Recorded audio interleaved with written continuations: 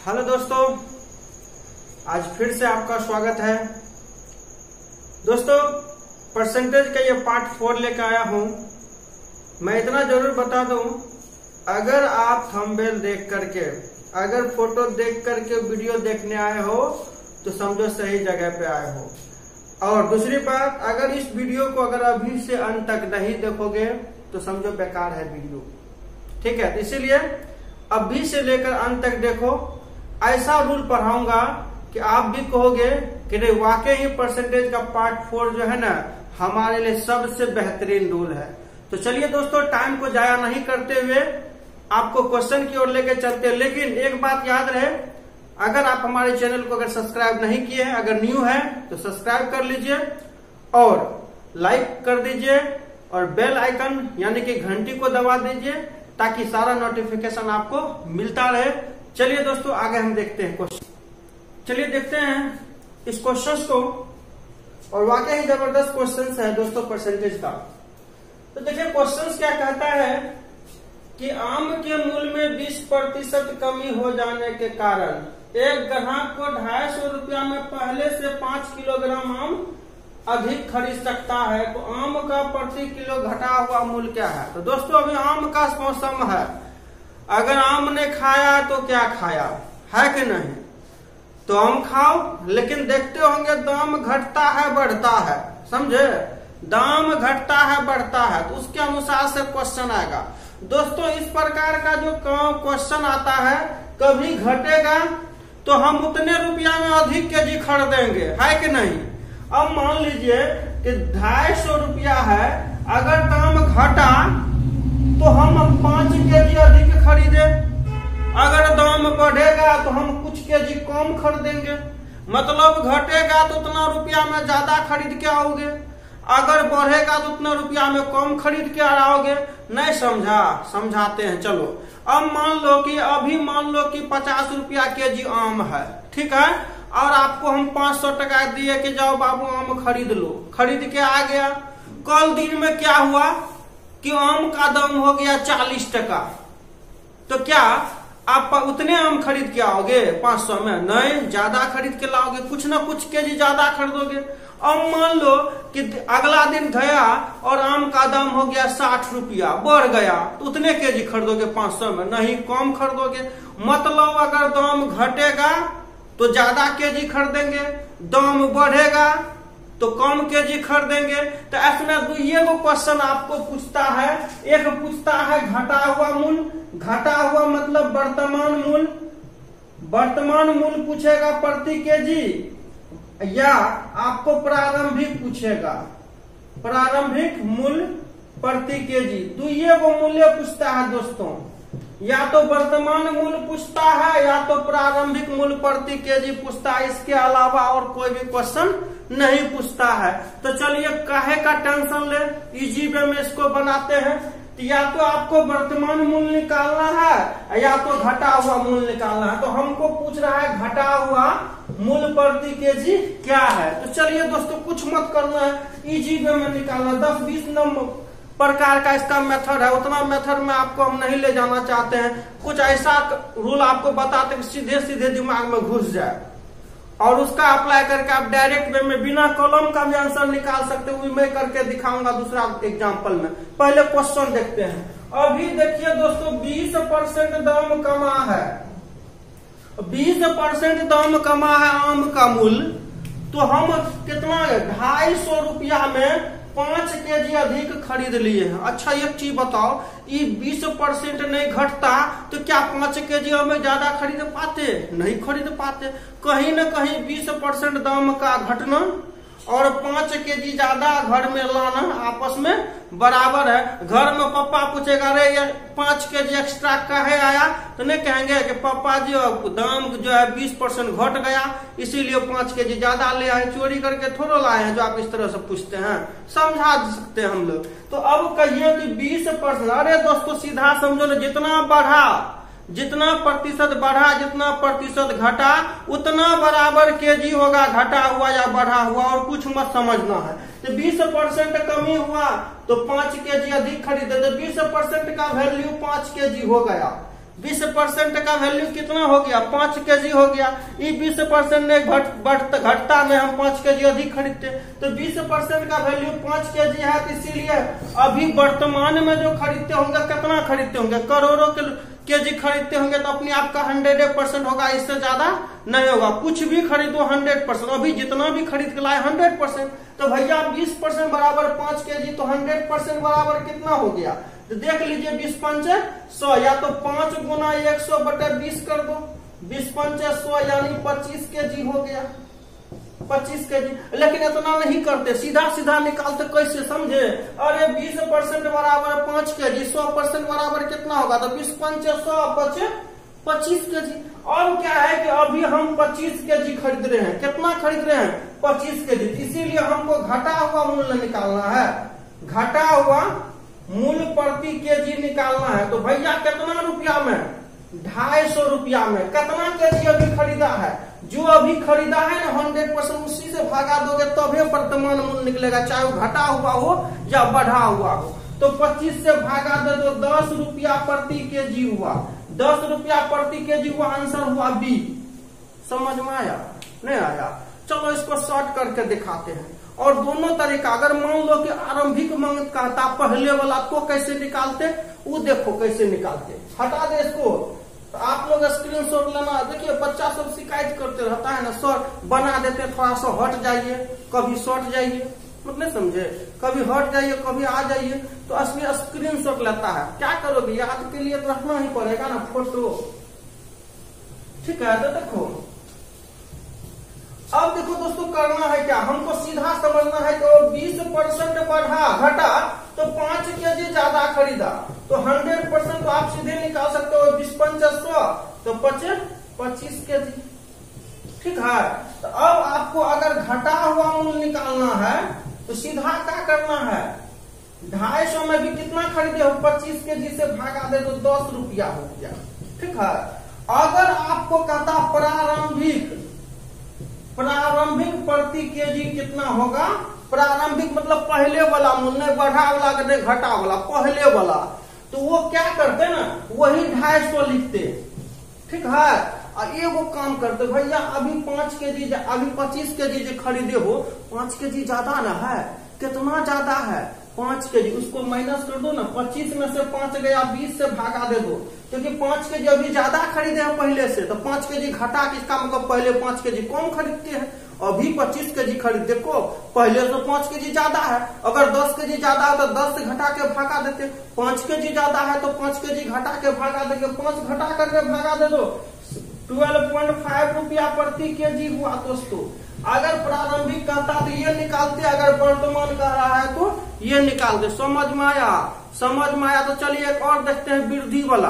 और फिर आपको ले चलेंगे, इससे भी बढ़िया टाइप का क्वेश्चन। हम पहले न बोले, हैं। कि अगर ये वीडियो पूरा नहीं देखा तो कुछ नहीं देखा।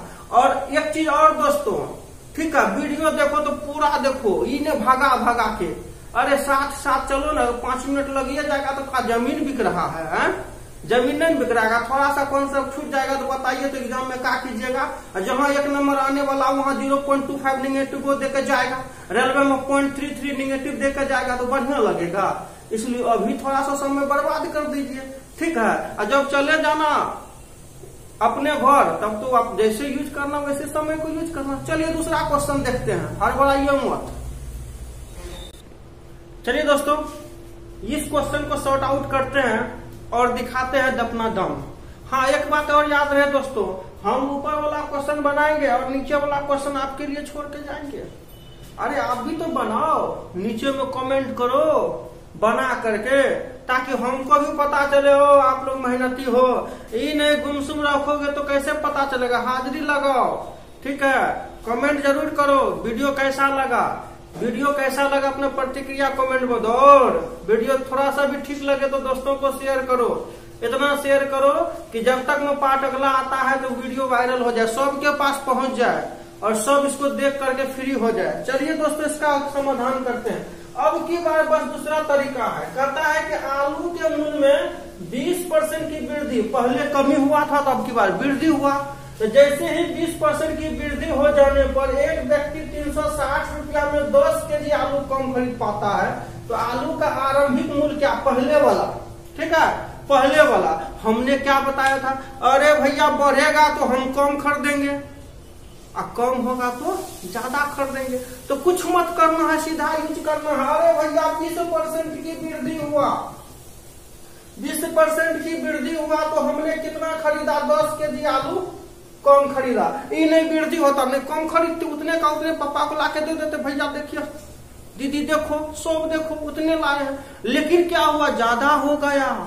दाम के जी कम खरीदे? तो दस के जी कम खरीदे? तो भैया, अभी तो कितना खरीदोगे? जो भी खरीदोगे परसेंटेज में हंड्रेड परसेंट खरीदोगे। तो हंड्रेड प्रतिशत बराबर क्या होगा? दस गुना एक सौ बटे बीस।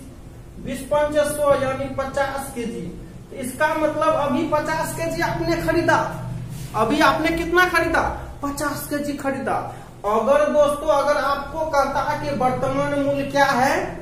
तो क्या करते? तीन सौ साठ में से पचास से भाग दे देते। ठीक है? अगर वर्तमान पूछे तो हंड्रेड परसेंट निकाल करके कुल पैसा में भाग दे दो वही आंसर होगा। लेकिन पूछ रहा है कौन सा मूल दोस्तों? आरंभिक। आरंभिक दर प्रति केजी पूछ रहा है।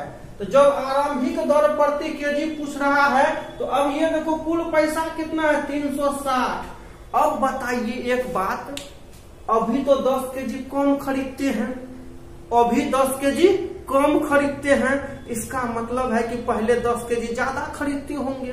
अभी न कम खरीदे हैं तो पहले दस के जी ज़्यादा खरीदते होंगे तो इसलिए प्लस कर दीजिए, पचास प्लस दस कर दीजिएगा, कितना हो जाएगा? साठ और साठ से भागा दीजिए, छह रुपया प्रति के जी आंसर हो गया बी नंबर। नहीं समझे? अरे भैया, जब कम खरीदते हैं तो पहले ज़्यादा खरीदते थे। अभी जब ज़्यादा खरीदेंगे तो पहले कम खरीदेंगे तो जब ज़्यादा खरीदते हैं तो घटाएँगे, और कम खरीदते हैं तो जोड़ेंगे। कौन सा मूल्य निकालने के लिए? प्रारंभिक मूल्य निकालने के लिए। अगर वर्तमान निकालना है तो हंड्रेड परसेंट निकाल करके कुल पैसा में भागा दीजिए, चाहे वो बढ़ा हुआ मूल हो या घटा हुआ मूल्य हो। चलिए, एक बार और इसको शॉर्टकट मारते हैं। कुछ नहीं करना है दोस्तों, सीधा आंसर दे देना है। है ना? ऐसे चुटकी बजा करके आंसर दे देना। है अरे, जब तक मैं जब तक मैं सोचेगा लोग, तब तक मैं दो चार गो क्वेश्चन नहीं बना देंगे तो कहा परसेंटेज पड़े समझ रहे हैं, है ना? समझो। अरे 20 परसेंट वृद्धि हुआ तो 10 के जी खरीदे तो 20 परसेंट बराबर 10 के जी तो 100 परसेंट कितना हो गया? तो भैया, बीस पंचास सौ तो दस पचास पचास के जी ठीक है? अगर हमको करा प्रारंभिक मूल्य निकालने के लिए तीन सौ साठ में तो अभी दस के जी कम खरीदे तो पहले दस के जी ज़्यादा खरीदते थे तो जोड़ देंगे, साठ से भागा देंगे, छह रुपया। अगर कहता वर्तमान निकालने के लिए तीन सौ साठ में से दस के जी यही नहीं करते, सीधा पचास से भागा दे देते, सेवन पॉइंट टू रुपीज़। समझ में आया? तो दोस्तों, समझ में आया है तो ये क्वेश्चन देख लीजिए, बढ़िया से चीनी के मूल में पंद्रह परसेंट कमी हो जाने पर। अरे, चीनी का मूल कम हुआ, पापा को बोलो दो तीन बार चाय ज़्यादा पिए। तुम भी पी लो। तो चीनी के मूल में पंद्रह परसेंट की कमी होने पर ग्राहक तीन सौ चालीस रुपया में पहले से पाँच के जी अधिक खरीदता अरे, कम हुआ, ज़्यादा खरीदेगा। तो चीनी का प्रति के जी आरंभिक मूल्य निकालना है। तो आरंभिक मूल्य निकालना है। ठीक है, इसको बना करके नीचे कमेंट में करना है। नहीं करोगे तो फिर तो बिना हाजिरी का पढ़ोगे तो समझिए रहे हो ना। हाजिरी बनाना पड़ता याद है ना, बचपनों में अटेंडेंस बनाते थे? प्रजेंट सर यस सर, जय हिंद सर। तो वो अब तो नहीं कर सकते हो। अब तो कमेंट तो ऑलरेडी कर ही नहीं सकते हो। कि नहीं सर, हम देखे हैं आंसर देते हो तुम लोग कमेंट में तो हमको लग जाता है तुमने देखा है। नहीं दोगे तो हमको लगेगा, नहीं देखा है। समझे? चलिए अगला टाइप पढ़िए। ठीक है? चलिए दोस्तों, अगला टैब देखते हैं। इसको भी वैसे ही ज़बरदस्त तरीका सॉल्व करेंगे, ठीक है? तो देखिए क्वेश्चन कहता है कि ए की आय बी की आय से 20 परसेंट अधिक है, तथा सी की आय बी की आय से 10 परसेंट कम है। तो ए की आय बी की आय की कितनी प्रतिशत है? देखिए दोस्तों, ये कम है। फलना का चिन्ह से ज़्यादा है, मोहना का श्यामा से कम है है ना? रुपेश का आय जो है परवीन से ज़्यादा है, रोशन का आय जो फलना से कम है, पहली संख्या दूसरा से अधिक है, तीसरी संख्या कम है। इस तरह का कम बेस वाला क्वेश्चन को जो है ना, एक अलग तरीके से बनाना है। अलग तरीके क्या है? तो पहले ये देखो कुल संख्या कितना है, हिस्सेदार कितना है। मतलब कुल मेंबर क्या है? कुल संख्या है, पहले उसको इंडिकेट कर दो। अरे जो खाने वाला है, पहले उसको बैठाओगे, पहले पत्ता लगाओगे, है? पहले जो खाएगा, उसको बैठाएँगे, पहले पत्ते लगा के चलाएँगे चार गो थाली में लगा दिए, पता चले द्वार पर, दरवाजे पर क्यों आदमी खाने वाला है तो कैसे होगा? ये समझो, पहले आदमी गिनेंगे, उसके अनुसार से पत्ता लगाएँगे, फिर खाना वाना परसेंगे खिलाएँगे, बढ़िया स्वागत करके भेजेंगे हाँ लेकिन चाय तो ज़रूर पिलाना, ठीक है? समझ रहे हैं ना? तो चलिए तो पहले तीन संख्या, ए, बी, सी तो लिख दीजिए। ए है, बी है, सी है, ठीक है? और दूसरा बात याद रखना दोस्तों, मानते हैं उसको है जिसके बारे में कोई चर्चा नहीं है। अरे, समझे? नहीं समझे? अरे, मानते हैं उसी को जिसके बारे में कोई रिलेशन क्लियर नहीं है। तो जैसे एक है, बी है, सी है, तीनों में से किसी एक को मान के चलना पड़ेगा। एक्स मानो, एक सौ मानो, फलना चलना कुछ मानो। लेकिन परसेंटेज पढ़ रहे हैं तो सौ में ही मानेंगे। तो किसी एक को मानना है सौ क्योंकि सौ इसलिए मानते हैं कि सौ का कितनों प्रतिशत निकालोगे वही होता है। एक सौ का पाँच परसेंट पांचे होता है, एक सौ का दस परसेंट दस से होता है। समझ में आ रहा है ना? तो अब यहाँ जो कहानी सुन रहे हैं, मानते हैं उसको, जिसके बारे में कोई रिलेशन मालूम नहीं है। अब बताओ, कोई पहले से रिलेशन में कुछ और लग रहा है, और उसको कुछ और कह के बुलाओगे, समझ रहे हो ना? तो दिए फट्टा चलेगा। अब मान लो पहले से मौसी लग रहा है। और उसको पूछते हैं सुनते हैं जी। हाँ बगलो वाला पूछेगा वो पूछेगा। और पप्पा जानेगा तो वो देगा। इसलिए दो गो बात याद रखना, जिसके अब मान लो उससे कोई रिलेशन नहीं है, फ़िलहाल कुछ कह दो ना, मान लो न रे। मन में मानो न, है ना? लेकिन बोल के नहीं मानना। अब मान लो कि फ़िलहाल कुछ कह दी, मान लिया गुस्सेबे करेगा, ठीक है? घुसेबे करेगा तो बोलेंगे, हमको पता नहीं था। ठीक है? हमको हमको पता नहीं था। तो कुछ नहीं होगा। लेकिन जो पहले से है तो उसको मानो कुछ कहोगे तो गड़बड़ाइए ना जाएगा। चलिए, मानते उसको जिसके बारे में कुछ पता नहीं है। सब का लिहाज छोड़ो ए बी सी है तो कहता एक या बी से अधिक है। एक आ जो बी से अधिक है एक को नहीं मानेंगे। तथा सी की आय बी की आय से अधिक है, कम है सी को भी नहीं मानेंगे। अब मानेंगे कि इसको बी का चर्चा है, नहीं है तो बी का जो भी होगा हंड्रेड होगा। बी का जो भी होगा हंड्रेड मान लो। ठीक है? समझ में गया अब देखो बी से कंपेयर किसका किया वो चलो। तो ए का आय बी के आय से बीस परसेंट कम भैया ए का आय जो बी से बीस परसेंट अधिक है एक सौ का बीस परसेंट कितना होगा? बीस से होगा तो एक सौ बीस हो गया। अब कहता है कि सी की आय बी की आय से दस परसेंट कम है तो एक सौ का दस परसेंट कितना हो गया? दस से हो गया तो दस परसेंट कम है तो नब्बे हो गया। क्लियर अब कहता है ए की आय बी की आय की कितने परसेंट? हमने बताया था ना दोस्तों, पहले क्लास में, नहीं, दूसरा क्लास में। एक्स वाई का कितना परसेंट है? तो एक्स बटे वाई गुना एक सौ, जिसके बारे में पूछा जाए ऊपर, जिससे कंपेयर कर रहा नीचे गुना सौ। तो अब कहता ए की आय बी की आय का कितना परसेंट है? तो एक सौ बीस बटे है। एक सौ गुना एक सौ कर दोगे तो एक सौ बीस परसेंट होगा। और जिधर मिलेगा ऑप्शन देव दनादन अगला देखो तीसरा। अब कहता है पहली तथा दूसरी संख्या किसी तीसरी संख्या से 10 परसेंट तथा 20 परसेंट कम है। यदि पहली संख्या 360 है तो दूसरी संख्या क्या है? तो हमने अभी क्या बताया? कि पहले लिखो, जो हिस्सेदार है उसको लिखो। तो हिस्सेदार कौन कौन है? तो तीन वो संख्या है। पहला, दूसरा, तीसरा। अब क्या करोगे? मानोगे? उसको, जिसके बारे में कोई क्लियर नहीं है। तो पहला, दूसरा तो कह दिया कि भैया दस परसेंट, बीस परसेंट कम है। और पहली संख्या तीन सौ साठ है तो दूसरी संख्या क्या? क्या तीसरा संख्या के बारे में कुछ चर्चा है? नहीं तो जो मन में करता है उसी को मान लो। तीसरा एक सौ है तो पहला कितना है? दस परसेंट कम है तो नब्बे हो गया। और दूसरा कितना बीस परसेंट कम है तो अस्सी हो गया। अब कहता है कि पहली संख्या तीन सौ साठ है तो नब्बे प्रतिशत का वैल्यू तीन सौ साठ हो गया। इसलिए दूसरी संख्या 80 परसेंट का वैल्यू निकाल लो। 360 गुना अस्सी बटे नब्बे नौ के छत्तीस आठ के बत्तीस, तीन सौ बीस हो गया। यही आपका आंसर हो गया। समझ में आया दोस्तों? अगर समझ में आया है तो वो जो क्वेश्चन छोड़ के गए हैं ना, उसको तो बना के ज़रूर कमेंट करना और अपना हाजिरी लगाना। और अगर अभी तक चैनल को सब्सक्राइब नहीं किया है तो किसी से पूछने की ज़रूरत नहीं है सब्सक्राइब कर दीजिए, पैसा नहीं लगेगा आपका। समझिए? और वो घंटी को दबा देना है, ताकि नोटिफिकेशन आपको मिलते रहे। और इस वीडियो को अगला पार्ट पचवा पार्ट आने तक इतना शेयर कर दीजिए कि ताकि सबको पता चले कि नहीं, वीडियो हम भी देखते हैं और किसी ने बनाया और हमको भी देखना चाहिए। ठीक है? चलिए, आज के लिए जय हिंद।